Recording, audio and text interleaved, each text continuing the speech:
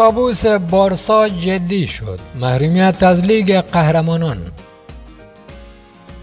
جذب ناجبه برای رئال مادرید دشوارتر شد. با ورود چلسی و لیورپول. مسی همه شایعه ها را تمام کرد. قرضی جایی نمی روم. با رونالدو باقی مانده غذای مکدونالد را می خوردیم. حمله تند لپورتا بر رئال. اینجا هم بازنده اید. خبر خوب برای هواداران بارسا. بازی خداحافظی لئو مسی در بارسلونا.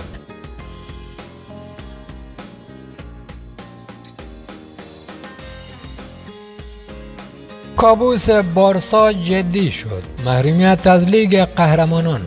خود ماریو استامپا وکیل سرشناس ورزشی می‌گوید باشگاه بارسلونا از لیگ قهرمانان فصل آینده محروم خواهد شد. جنجال پرونده نگریرا برای بارسلونا همچنان ادامه دارد و حالا وارد مرحله بسیار بحرانی و دشواری شده که به نظر می رسد دردسرهای بسیاری را برای آنها به همراه خواهد داشت. قاضی این پرونده چند روز قبل اعلام کرده بود که از نظر او اقدام مدیران این باشگاه در پرداخت مبالغ به نگریرا در واقع پرداخت رشوه به نایب رئیس سابق کمیته داوران لالیگا بوده و آن را پرداخت رشوه به مقامات دولتی شناخته بود. حالا یک از وکلای سرشناس ورزشی کشور اسپانیا که پیش از این سابقه کار در پرونده های بسیاری را داشته ادعایی را مطرح کرده که کابوس جدی را برای این باشگاه به همراه خواهد داشت. اقدام طبیعی در این پرونده که آنها حداقل به صورت موقت بارسلونا را از لیگ قهرمانان فصل آینده محروم کند تا رأی نهایی مشخص شود. مدیران باشگاه می توانند هر چقدر که می‌خواهند تلاش کنند تا این پرونده را به شکل دیگری نمایش دهند. اما 7 میلیون یورو برای گرفتن گزارش داوری پرداخت نشده است.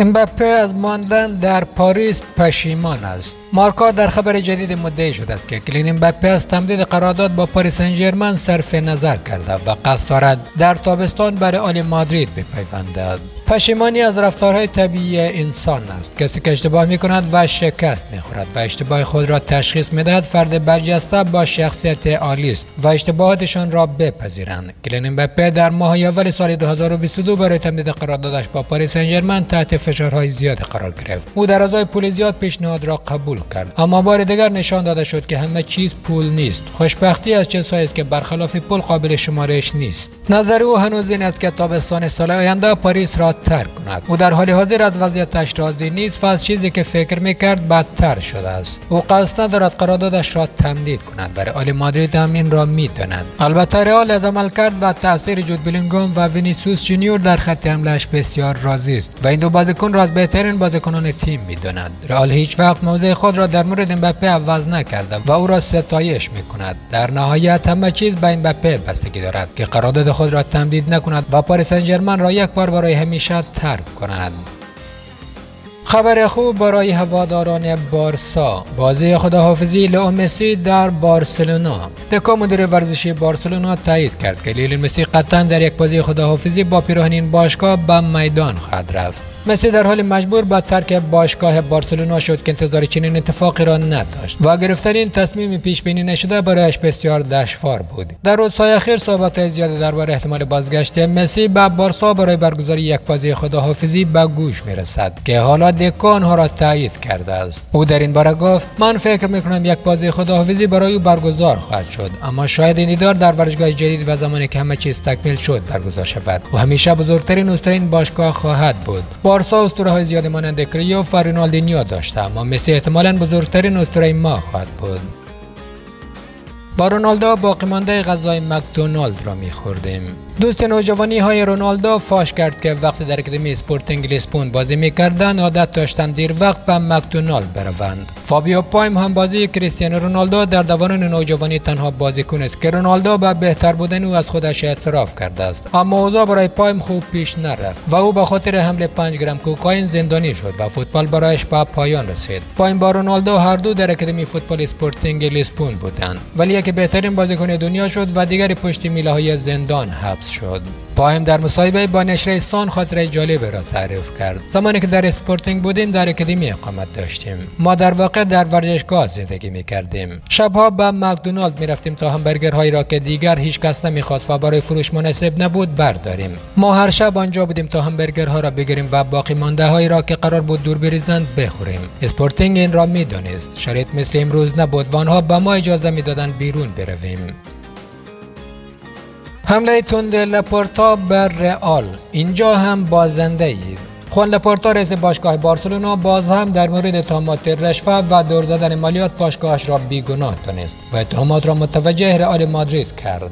خوان لپورتا در این مدت تلاش کرد تا اتحاد بین تمام مسئولان باشگاه به وجود آورد تا بارسلونا بتواند با این اتهامات مقابله کند و از سوی دیگر هم در هر فرصت این موارد را رد کرد. او بار دیگر در آستانه شروع بازی های لالیگا بعد از فیفا ماه اکتبر در مصاحبه باشگاه را بیگناه دانست. هیچ رشوه یا جرایم مالیاتی در کار نبوده است. طرفداران بارسا می توانند آرام باشند. یا کمپین سازماندهی شده علیه بارسا فعالیت می کند در دوره اول حضورم در بارسا یک مادریدگرایی جمعی وجود داشت که ما را آزار داد و با اینکه یک بار آن را شکست دادیم دوباره شکستشان خواهیم داد. رسانه جمعی اسپانیا که اکثرا هواداران رئال هستند از ماجرای نگری را سوء استفاده کردند. من قاضی پرونده را می‌شناسم و او ضد بارسلوناست آنها می‌خواهند باشگاه ما را تحت فشار و سلطه قرار دهند و ما و تاریخ باشگاهمان را کثیف کنند. آنها از بارسای آماده و قوی وحشت دارند. من با خود فلورنتینو پرز مشکلی ندارم. جذب امباپه برای رئال مادرید دشوارتر شد.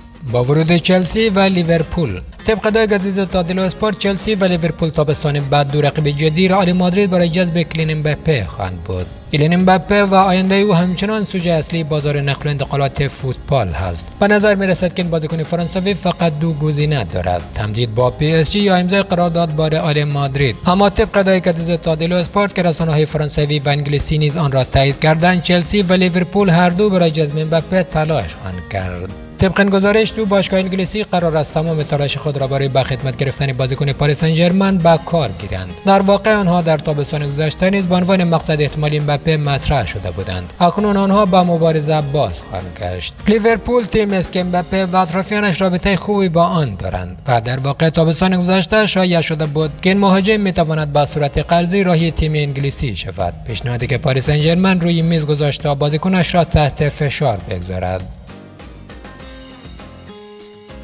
شوک به بارسا شش سال زندان برای رئیس. در صورتی که تام خوان لپورتا رئیس باشگاه بارسلونا ثابت شود. او با محکومیت 6 سال زندان روبرو خواهد بود.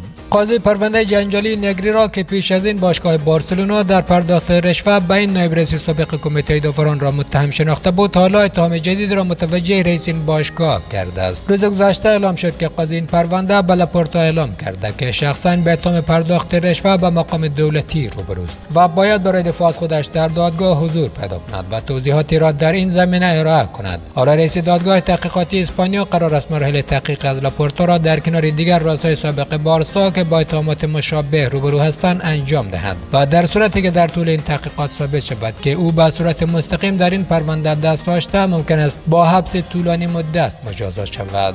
روزنامه موندو دیپورتیو مدعی شده است که سختگیری دادگاه اسپانیا در این زمینه بسیار زیاد و جدی است و این احتمال وجود دارد که لاپورتا با حکم زندان بین 6 تا 7 سال روبرو شود که قابل بخشش هم نیست. این خبر بسیار بدی برای بارسلونا در این بازه زمانی است و بسیار از هواداران این تیم نگران هستند که این وضعیت روی روحیه و ذهن بازیکنان هم تاثیر بگذارد و در نهایت منجر به افت این تیم در مقطع از فصل شود. مسی همه شایعه ها را تمام کرد. قرضی جایی نمی روم لیونل مسی فوق تیم اینتر میامی اعلام کرد که در جنوری از این تیم آمریکایی جدا نخواهد شد. لیونل مسی بعد از دست و پنجه کردن با مسئولیت مزمنی که یک ماه طول کشید. دیروز برای تیم ملی کشورش مقابل پیرو به میدان رفت و باز هم درخشش بینظیر خودش را به نمایش گذاشت و در پیروزی دو بر صفر تیمش هر دو گل را به ثمر رساند. مسی در مصاحبه بعد از بازی در مورد برنامه های آیندهش صحبت کرد. حیف شد که انتر میامی به پلی آف نرفت. خیلی به آن نزدیک شدیم. چند بازی اخیر را از دست دادم. چند مصدوم دیگر هم داشتیم. ماه جولای برای ما بسیار سخت بود. ما هر سه روز بازی می‌کردیم سفر می‌کردیم و خسته بودیم. اما ما یک تورنمنت را بردیم که برای باشگاه و ذهنیت سال آینده مهم است. من به تمرین ادامه خواهم داد. بعد از آن از تعطیلات در آرژانتین لذت می‌برم. اولین بار است که قرار است روزهای تعطیلی بیشتری در ماه دسامبر داشته باشم. یک تعطیلات با آرامش خاطر با مردم. در جنوری دوباره برای انجام پیش فصل باز خواهم گشت. از صفر شروع می کنم و مثل همیشه به بهترین شکل ممکن آماده می شوم مسی با این صحبت ها مشخص کرد که فعلا قصد برای ترک آمریکا ندارد.